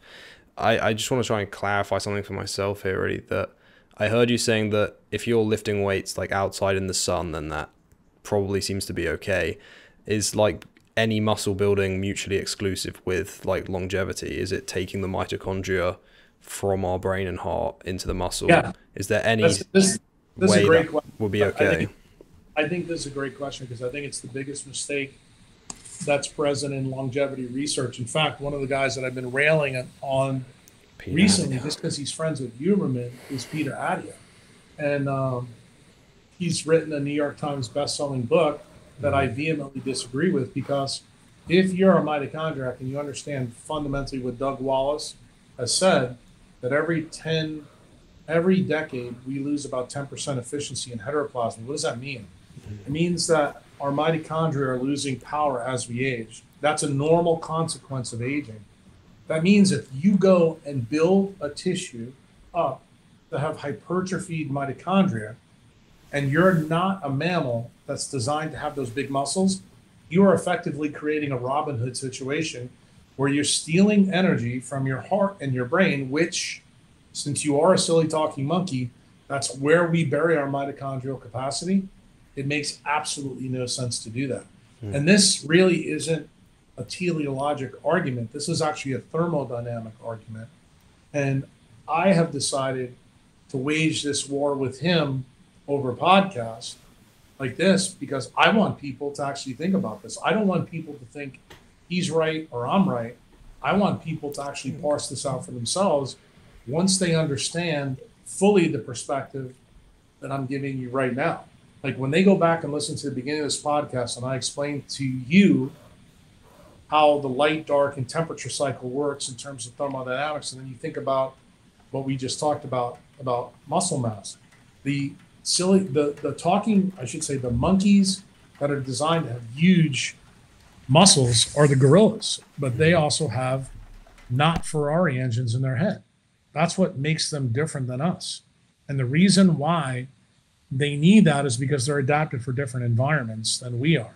The flip side is we're the silly talking monkeys that do have the Ferrari in our head because it gets 20% of our cardiac output. That means that doesn't mean that exercise is bad. It doesn't mean that the meatheads in Iceland are not doing ish, you know, things wrong.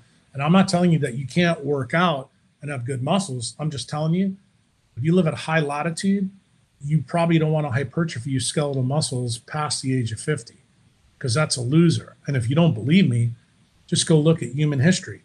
Very rarely will you see humans that have humongous muscle mass as they age. In fact, you look at the programs, and I always talk about this guy called Nir Barzilai, who Peter Attia actually likes, but I don't think Peter Attia really understands what Neil Barzilai's done. He studies supercentenarians. You know, these are Americans that have lived over 100 years old. And what, are these, what does he always find? They don't have big skeletal muscles. Okay. And that's really the take home message that if you really want to live a long life, you probably would be wise to have good muscles for maybe the first 50, 60 years of your life. But every decade after that, you want to reserve your energy for your heart and your brain so that you can get to your 80s, 90s, and 100s. That's really the key story. Yeah, okay, that makes sense. Uh, and then if we are going to be working out, we want to be doing it in a place that's not under blue light and ideally outside in the sun. Yeah, I mean, I, I think if you're going to lift heavy things, I want you to do it in the sun. That's, you know, at least in my country, this is why I tell people about the the meatheads at Venice Beach. Mhm. At least they do it right. Then you know I make fun of of guys that are in the states, like Shawn Baker is a big carnivore guy, orthopedic surgeon who likes showing his muscles all around. But I always point out he's still an orthopedic surgeon. He's not as smart as a neurosurgeon. He certainly doesn't understand some of the things that we're talking about here. But do I respect that he's trying to help people get better? Yeah. But I want him to understand what I just told you that having huge muscles is a huge constraint on your brain. And when you understand that our brain is the Ferrari engine that actually never changes its its thermodynamics as we age, then you begin to realize uh, maybe you know going and doing all the things that he does is probably not the smartest thing and it's also probably not the smartest thing that peter attia does and i'm not doing and saying this stuff out these guys as fools you have to realize i think they're both smart guys the problem is i don't think they've thought about this as deeply as i have as deeply as i explained to you in the beginning of this podcast you know to understand truly the implications of what newtonian physics and Einsteinian physics means for your muscle mass. Because when you actually parse this out, you begin to realize this is really a thermodynamic story that needs to be told. It's actually the greatest story on earth ever told. Why? Because this really is about the fountain of youth. This really is about how to optimize your longevity. Um, I just think you need to be smart about how you do it. And I think when you try to give a one size fits all to everybody, and you realize what is quantum mechanics really teaching us, everybody's in n equals one because everybody has different choices they've made around light, dark, and temperature. That's the key. Mm. Have you reached out to either of those guys and tried to do a podcast with them? Uh, let's put it this way. I think every podcast I've done in the last year, it's been a full frontal assault on on Peter Attia uh, Shawn Baker has reached out to me, wanted me to do his podcast. I refused to do it. Oh, uh, okay. uh, the reason I refused to do it is for what I just told you. Until Shawn Baker understands exactly the perspective that I have, I'm hoping a guy like him will listen to this podcast I did with you hmm. and understand fundamentally why he's incorrect is because he doesn't understand Newtonian and Einsteinian physics In fact, I've been told uh, by people in the know who know Peter Attia very well, the reason he doesn't want me on his podcast is because he's like, this guy only talks about physics and I don't want to talk about physics. What does that tell you? It tells you that he wants to stay at the boxcar biochemistry level because that's where he feels comfortable. Well, I got news you. I'm comfortable at that level too because I learned that stuff, but I realized that wasn't the thing that was getting me better. Mm. Yeah, I just wonder if with like Shawn Baker or maybe even like Paul Saladino, I know he's interested in your stuff as well. That that could be an opportunity for you to like reach a lot more people and kind of show them like if you literally talk yeah, through I, I, I, but Owen, you're making you're making a big assumption here, and I'll, I'll I'm I'm gonna I don't want to say cut you off the knees, but I want you to understand something. I'm yeah. not interested in being popular. Mm-hmm. You know what I'm interested in? Yeah. Being right. Mm-hmm. That's what I'm interested in. I'm interested in getting the story right. Why? Because if you know the story of human evolution, I don't want to get 8 billion people this message. Okay. Uh, when we left Africa, we got down to about 100,000 people. And then we went from 100,000 to 8 billion. What does that tell you? You don't need a lot of people to get this right.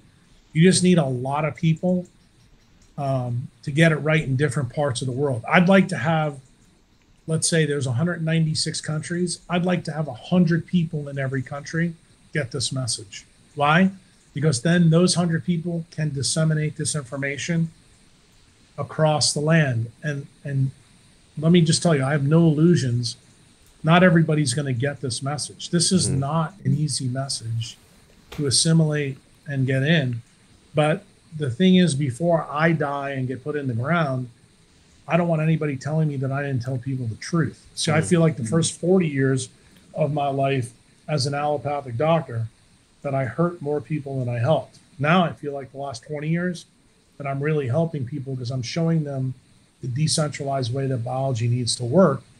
And ultimately, and this is the true decentralized part of me that I think people have a huge problem with. I learned a lesson from evolution. Not everybody will survive. That's what extinction events are about.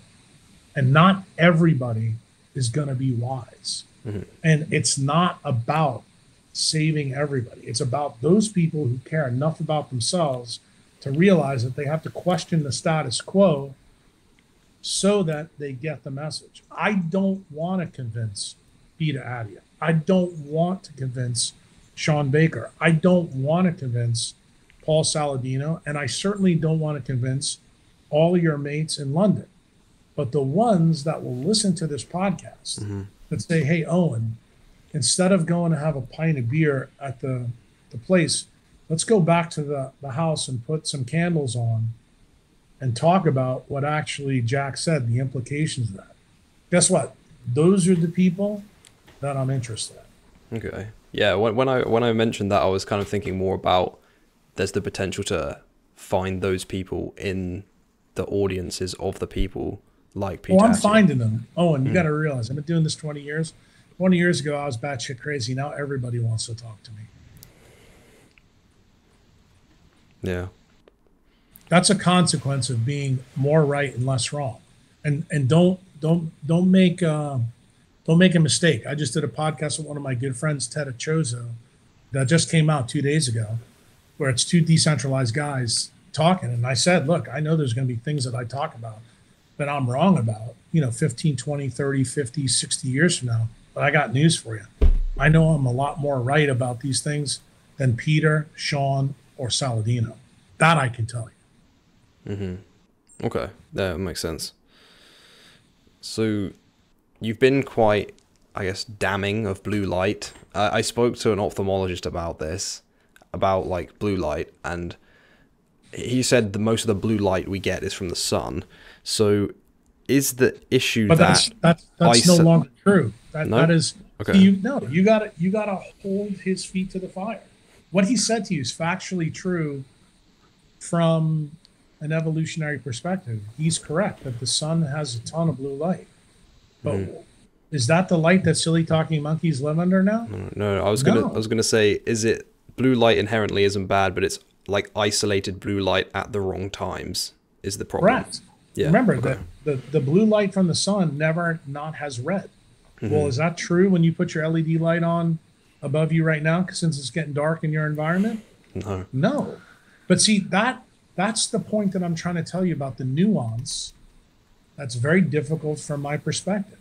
So you have to hold that ophthalmologist's feet to the fire, just like I just told you that I have to ho- hold Peter Attia's, Saladino, and Shawn Baker's feet to the fire. Why? Because when we make blanket statements about light, realize that light is the most complex thing that's present in nature, and you really need to understand it well because it has humongous nuance and, and humongous context. That's the reason why I told you that um, everything is an n equals one game.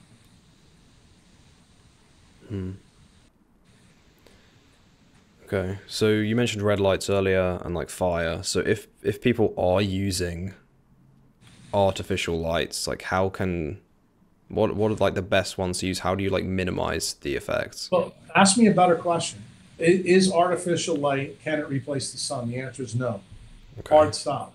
So then the next question should be so, Jack, are you saying that the use of red light at night also has negative consequences? The answer is yes.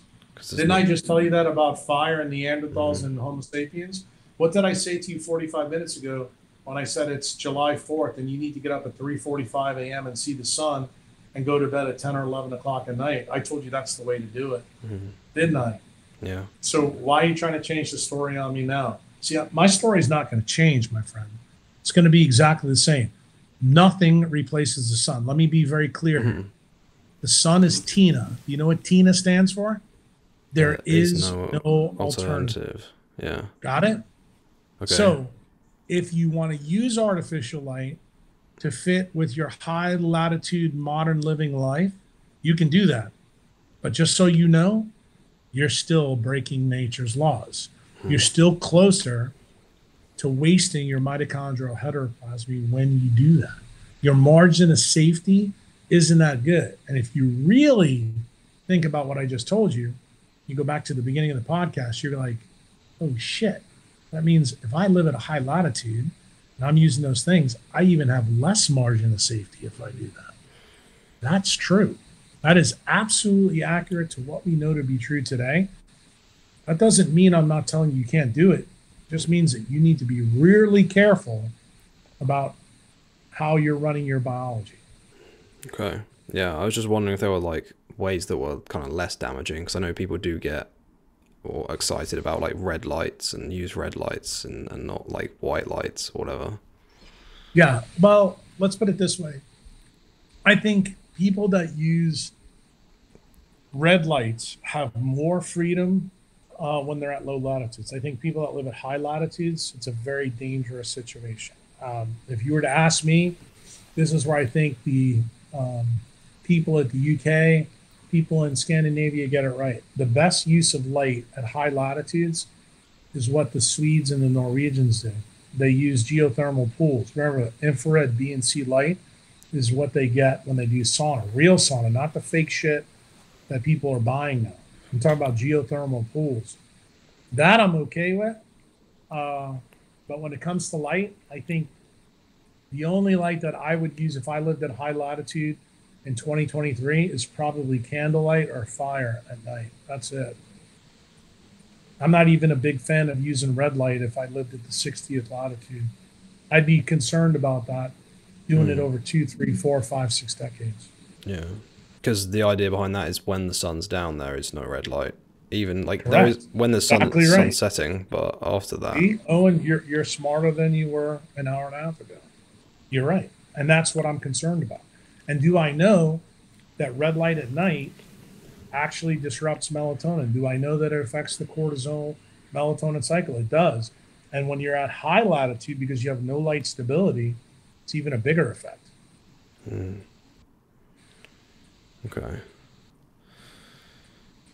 Another thing I heard so you. You're opening. You're opening. You're opening up the uh, the quantum probabilities now. Now you're beginning to realize why this stuff is a little bit difficult.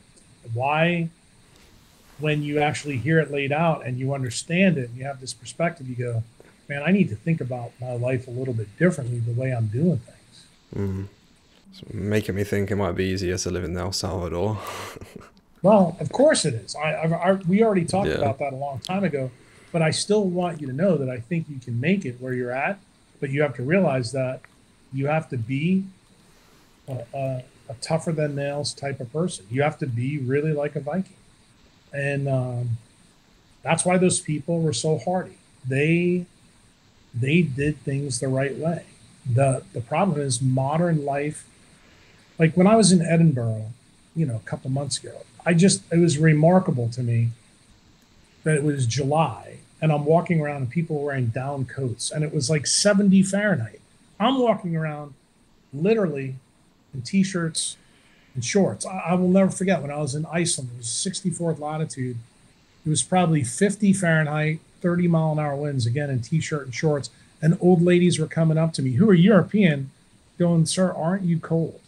And I looked at them and I said, "Aren't you sick and tired of being sick and tired?" And they just looked at me.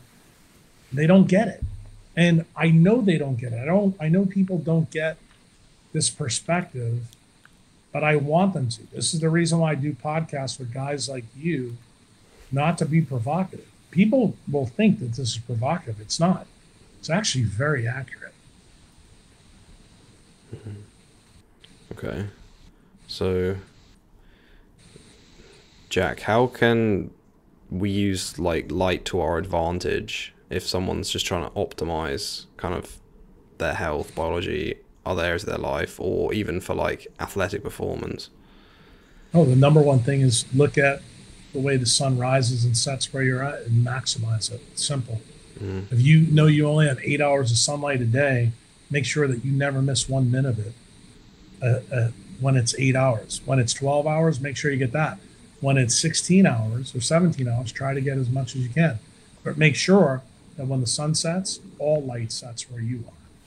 Make sure that when it's zero degree C out, all your windows are open and that is coming in on you. If you want to put a blanket on, great, but make sure that your body is feeling that temperature, especially on your face, because most people usually don't put the blanket over their face, because then the mammalian dive reflex is working in you. It still works. Um, and the flip side of that is, you know, if you're living at a low latitude, the same things are in place. And this is where it's a huge problem, you know, at the 13th latitude. When it's 6:30 at night or seven o'clock at night, there it's pitch black. Like it's so dark. Like people who come from the UK are down there and it's like July and it's dark at seven o'clock. They're kind of stunned that means that's where life ends. So your nightlife at low latitudes is designed to be kind of boring. What you want to do is live most of your life during the light. And that's what we are. We're creatures of light. That's what we're supposed to do. Yeah. So I know we have like the the super chiasmatic nucleus. I think I'm saying that correctly. The like Yep. detect, detects light in our eye, but you you mentioned you want the cold on your face. Do we like what kind of do we have like receptors for cold on our face? Absolutely. It's, that's uh, stuff that I wrote about 20 years ago called the mammalian dive reflex. And it turns out those cold receptors, they actually pay attention to that leptin melanocortin pathway. Uh, that's the reason why when a baby is born, it doesn't take its first breath. Remember, it came from a cold, wet environment. So when it's born and it's born into an air driven environment, there's a huge temperature difference. Uh, babies will take their first breath when they're born into the air, but the what you see that most humans do um, from an evolutionary perspective, they bore their their live birth in the ocean, and the babies don't take their first breath when they go into the water. They wait till they come to the surface. How do they make that decision? It's tied to the temperature change on their face. And that should explain to you why modern humans get obstructive sleep apnea for the same reason, because their temperature regulators in the hypothalamus are broken. How do you like that? Yeah, I've, I've not heard anything about this before from any of your your stuff. That's very interesting. Well, it's written about in the cold thermogenesis series at jackkruse.com. You go back and put mammalian dive reflex and Jack Kruse, and I guarantee you, you'll see a ton of it. Yeah. That's the basis of how cold thermogenesis works in us. Hmm. Every single mammal on this planet has the mammalian dive reflex. Doesn't matter what type of mammal you are, every single one hazard. And it's linked to that leptin melanocortin pathway. I was speaking to my friend the other day about uh, the podcast you did with Huberman and Rick Rubin, and there was this point I, I, he was asking me about it, and I couldn't explain it properly, so hopefully you'll be able to help out here. I, I understand that the little mammals, um, uh, after the the what's it called, the, Kaz, the KT event, um, were like making light inside of them, but how does that like negate their need for food? It doesn't negate their need for food. They are actually able to make food from the POMC gene. Remember, the POMC gene also has another part of it. We talked about the alpha MSH part, but we didn't spend a lot of time talking about is the other big part called ACTH. So from ACTH is adrenocorticotropin uh, releasing hormone. That's the precursor for cortisol. What do you know about when you give somebody cortisol? What does it make in their body? Doesn't Glucose. raise glucose and insulin? Yeah. There you go. So you're able to actually make glucose directly from light. So what does that tell you about the POMC gene? POMC gene is actually tied to animal photosynthesis. Well, what does the NHS have to say about animal photosynthesis? They think it's preposterous. Yet, you know that every mammal has POMC in them. You know that humans do, but yet they tell you that you can't. And how many times have you seen the picture on my Twitter feed where I always show you that putting on LED light alone, what does it do? It raises blood glucose and it raises insulin. Hmm. So hard stop. What does that tell you? That light creates glucose. What do you know about high glucose and high insulin? Shrinks your brain. What do you know about the mammals that were present at the KT event? Were they were they mammals that had Ferrari engines in their head? No little things. No. Right. See, they were different mammals than we are today. So, what does that tell you about mammals today that are living under light that is like the KT event from blocking the sun? They're shrinking their brain. There you go, bro. Now you understand why Alzheimer's, Parkinson's, and neurodegeneration are playing the role that they're playing today. You're beginning to understand the flip side of the story. But remember, the original story for the mammals was this allowed them to survive a poor light environment while the dinosaurs were dying because there was no sunlight there. They could live off a poorly lit environment because they could make enough glucose to survive until photosynthesis came back. And then what happened? Then what happened is they took their main semiconductor that was on their surface and internalized it. Why? Because it turns out melanin turns sunlight and is able to make the biggest charge separator of water to create both protons, electrons, and hydrogen. What does our mitochondria use? H plus. Hydrogen. Hydrogen heat engine. What's the difference between photosynthesis and melanin in terms of uh, photosynthesis? Photosynthesis is done with chlorophyll. It creates two electrons in the photosystem. What does melanin create? Four electrons, double the amount. What else does melanin create? Creates H2 and O2. Does O2 is O2 used by the mitochondria? Yep. What is H2? Two hydrogen protons.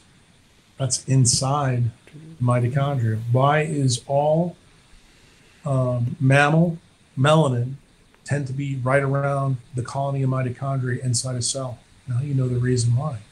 Because it's creating the things that the mitochondria needs. Oh.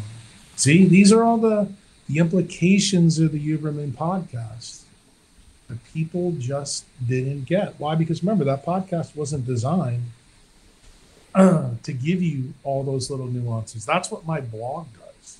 Okay. That's what other podcasts do. It was that that podcast was designed by Rick to be a conversation between three mammals to discuss how evolution and why centralized and decentralized medicine has a radically different perspective. That's kind of what you and I just did in this podcast over the last hour and 45 minutes. Is I focused more on light, darkness, and time for you to get you to really understand why Newton and Einstein are different. Now you're beginning to see how the melanin story fits into this because melanin actually makes the clocks in you even more accurate. It's creating the raw materials from the things inside of cells that you need to run your mitochondria and to run um, the programs in you. You need electrons, you need protons, and you need oxygen. That is the raw materials that run the program in your mitochondria. And mammals that have gotten 65 million years away from the KT event are the most dependent on electrons, protons, and oxygen. The original mammals, they had more margin of safety because they didn't have big brains. Now mammals have huge, big brains. And as soon as you take any of their melanin away from them, guess what happens? They get sick. Yeah, they got more to lose. You got it. It's a very similar story to what I told you about high latitude living, isn't it? So when you're a mammal that has a Ferrari engine, you can see why that maybe living in a high latitude is almost the same decision that happened at the KT event. Maybe Uncle Jack is trying to get you to understand truly what I said to Huberman and truly what I said to Owen and marry the two concepts together. Yeah. The, I think the sticking point that me and my friend were on was like, how, like, where are they making the light from? Because we're kind of like, are they just, because it, From it metabolism. uh, uh, but what's like the input into the system? Like, You are can put they, into electrons, protons, and light. Just remember that. Let's.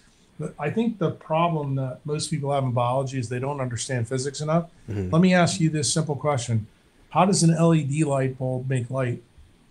You just put electricity into it, right? And then then the semiconductor creates light. It's called the light emitting diode. yeah, That's exactly what chlorophyll. That's exactly what mitochondria. That's exactly what melanin does. It also is a semiconductor. So how do you know that Uncle Jack is right about that? Well, that's when you have to go back and fact check me, and go read about Robert O. Becker's work. You know, you read the electric body, and you find out that collagen he found to be a P-type semiconductor that emits red brown light when you put a DC electric current in it.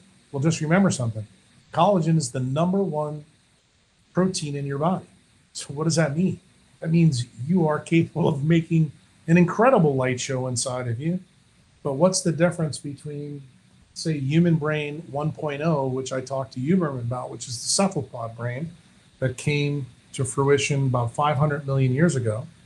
And our brain, when I open up the skull on someone later today when I'm on trauma call, will I see the light show that the cephalopod shows in Huberman's lab? The answer is no. Why? Because over 500 million years, the melanin that was on our exteriors are now on our interior. That light is all conserved. And where is that light given off to? Just as Becker told you, into water in the system, to other semiconductors into the system. It's it's contained within the system. cephalopods, it's not. Why? Because they come from a time that was much simpler on Earth. Yet, here's the interesting part cephalopods and man still exist on this planet today at the same time. What does that tell you? That the same octave of the electromagnetic spectrum is still present. But the environments that mammals and cephalopods exist in is radically different, right? They're in the ocean and we're not. But yet, doesn't our brain swim in an ocean of CSF? Mm. That's okay. the reason I told you that the cephalopod is human brain 1.0, and human brain right now is like 1,150,000 uh, version. Mm. It's had 500 million years to contain the light further so that it can be used for more complex findings. And what, what is the key semiconductor that has been used in the mammalian clade? Melanin. It's not hemoglobin, it's not chlorophyll, it was melanin. And what did the cephalopods do with that melanin? They used to expel it to get away from their prey, right? 70% of ink is melanin. Turns out in us, we keep all our melanin in our substantia nigra, in our neurons, everywhere inside of us. Anything that's made out of neuroectoderm, we have POMC, we have alpha MSH. That makes us very, very unique. That perspective is really, really important for you and your friends to get. Because it turns out when you two guys from the UK and you're sitting in the bar in the middle of the night, you're both looking at each other with your blonde uh, blonde hair, white skin, and blue eyes, realize that most of your melanin's on the inside. And just by the virtue of you sitting in that bar, you're fucking this whole program up. Mm-hmm. Yeah. Because you're decreasing the amount of light that your semiconductors make inside of you. I, I understand that like that metaphor with like the diode, but I'm trying to. I'm, Not a metaphor. It's actually accurate. This is. Oh, okay. Yeah. I tell you, diode. it's absolutely the same thing. Mm-hmm. You create light from a semiconductor. Anytime yeah. you put any energy source in, just so we're clear on this, if you put electricity in, like a DC electric current or AC current, you will make light. Mm-hmm. The light frequency will change what determines it is what type of semiconductor it is and how it's band gapped. Okay? That's what changes the frequency. Yeah. So the same thing is true about um, other semiconductors. For example, the guy who figured this out originally, he was an Indian, but he was in the UK. His name is Chandrendra Bose. You can look up his work from 1890 to 1801. How did he figure it out? He actually had a fan on a light that was sitting on a broken piece of silicon. And the light came through the fan, and he noticed that there was a spark or a change in an oscilloscope every time that happened. So he's the first person that discovered piezoelectricity. That means just from compressing a semiconductor, you create light. Think about that for a minute. Then there's ferroelectric current. Then there's pyroelectric current. What does that mean? Pyro means you change the temperature of the semiconductor and you change the light emission. Ooh, that should get you kind of interested based on our discussion for the last two hours. That just changing the temperature changes the light that gets emitted from the semiconductor. Mm-hmm. I like that. Starting to see how this works. Yeah, it's all like, it's so interesting how when you lay it out, there's kind of connections between everything which you might not first see. Right. And that, guess what? That is what makes this the greatest story ever told. That's the reason why so many people have been interested in the Huberman Rubin podcast because guess what? I opened Pandora's box. And you're now beginning to understand how a decentralized clinician really sees the world of circadian biology and then you begin to see the implications of what it means when you and your mates are sitting in the bar, or what it means for Finnish people who are doing all the wrong things and why they got type 1 diabetes, or why people are, who are now working for Facebook at the 20th latitude in Bangalore are getting type 2 diabetes for the first time in 5,000 years. In mm-hmm. other words, you begin to put pieces together where you can explain it, where your idiot consultant doctor in the NHS is impotent to fix this, to even understand it. But Owen Sheasby now, who's now gone from the light to the dark in two hours with me, now is beginning to understand some of the magic that was in that Huberman Rubin podcast. Why? Because you've asked some good questions. I've given you some provocative answers. I've taken you down some dark pathways that you didn't expect that we were going to go when we started talking about Newtonian physics and Einsteinian physics and time relativity and how it relates to light and light emission. And we're ending it right now with light emissions from the semiconductors that are created inside of us. Mm-hmm. Yeah. Good stuff. It's been it's been great, yeah. I just I just I'm, I'm sorry if I'm not getting this, but like the diode makes sense, but I'm trying to understand the small animals in the, they were like underground, so they didn't have light coming in from the sun, and photosynthesis was blocked. So like, They had some light. I mean, they? Okay. photosynthesis was blocked, but was the entire spectrum, you know, knocked oh, out? okay, Yeah, they still had stuff. Just think about it like, for example, on a day in the UK, when it's cloudy out, are you getting UV? Are you getting all the red? No, but you're still getting frequency through. From that shitty light, you're still able to make blood glucose. right, okay, that's that's the piece. Yeah, okay, that makes sense. Got it? Hmm. Yeah, All right, Owen, it's time for me to go. yeah, I think this is a good place to end. Uh, if people want to find more of your work, it's jackkruse.com and at Dr. Jack Kruse on Twitter and Instagram. Is there anything else to add there? Uh, You put Dr. Jack Kruse pretty much everywhere you can find it. If you put my name and your disease in a Google box, you'll find it. If you want more information, read my book on Amazon or sign up for Patreon, where I'll teach you how to be a quantum biologist and be a decentralized patient so you know more than your doctor. I'll put all the links to that in the show notes. Thanks so much, Jack. This has been really insightful, and I hope All right. the audiences they've enjoyed it as well. Thank you. All right, take care, Owen. Have a good one. Bye bye. Bye.